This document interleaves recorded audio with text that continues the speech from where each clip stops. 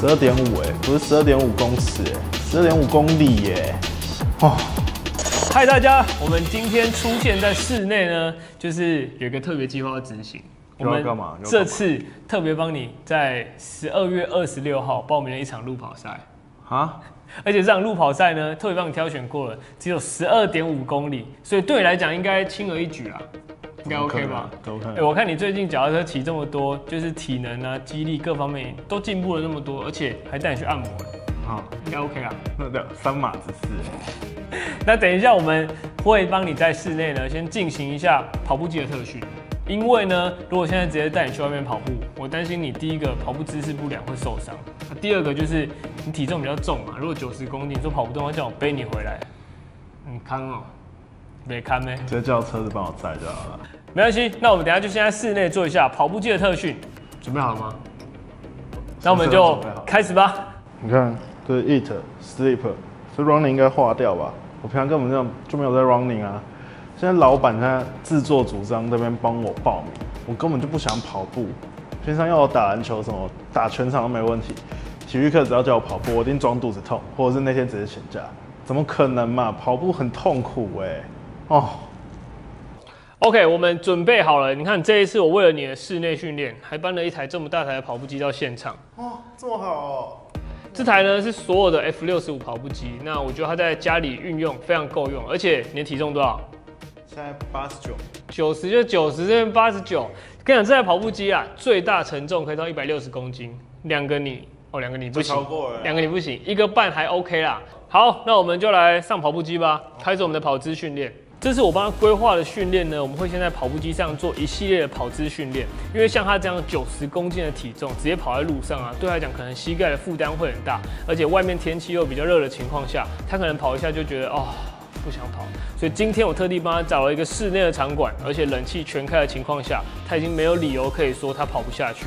那透过跑步机呢，用履带的这个带领之下，他的肌肉负担也会比较小。我们现在这个跑步机上啊，做一些跑姿的训练，调整之后呢，我们再让他跑一个持续的十五分钟跑走，希望可以透过这个跑走不停下来的情况，让他慢慢的去适应这个心肺功能的负担。那透过这样的训练，相信在接下来十二点五公里的挑战，对他来讲是非常有机会。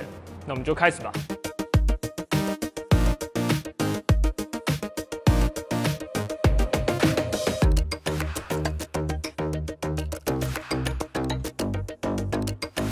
算了，才跑六百公尺，下来下来下来，不行了，那动作我实在不知道怎么讲下去。我先跑给你看好了，在跑步机上啊，比跟外面跑步最不一样的地方是，它是被履带带着跑，所以你脚在往前进的这个同时，承受的这个下冲的压力是比较小的。好，我们把它调到时速九。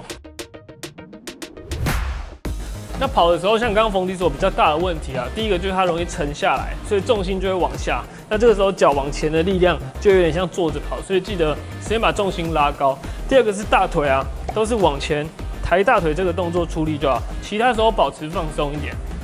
那脚啊就会呈现一个大腿带动小腿往前跑的动作，那这样跑起来会是比较轻松的状态，不然它刚会有点像这样后勾很多，脚往前抬就很慢，频率就会很慢，所以大腿往前，小腿自动跟上就好。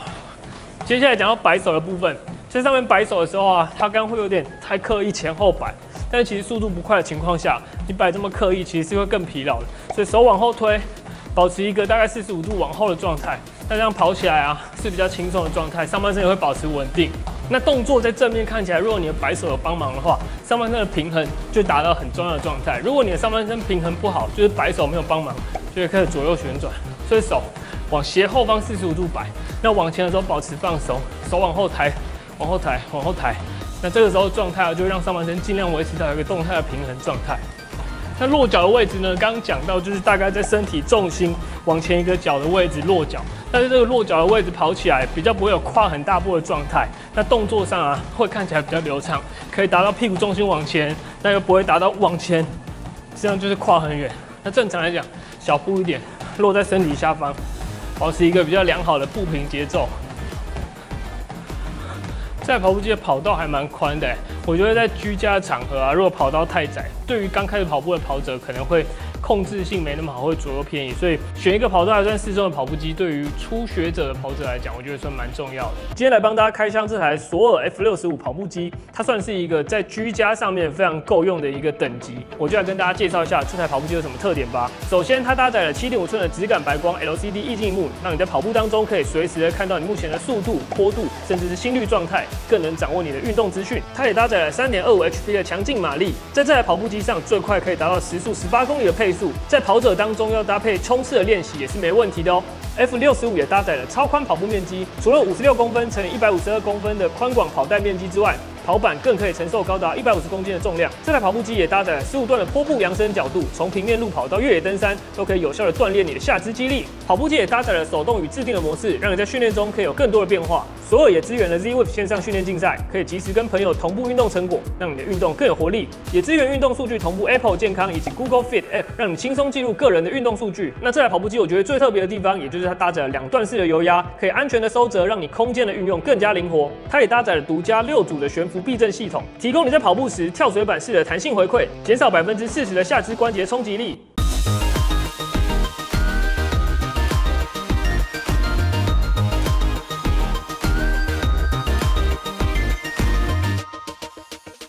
耶完成训练，今天十五分钟，轻轻松松吧。